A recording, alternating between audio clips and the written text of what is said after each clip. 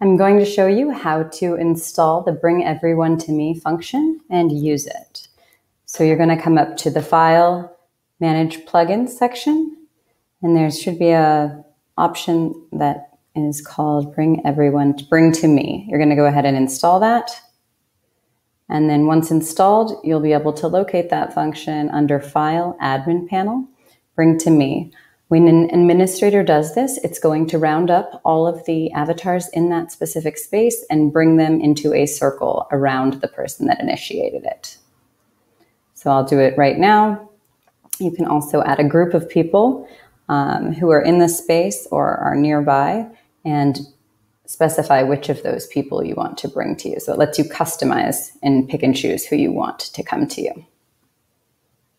That's Bring to Me.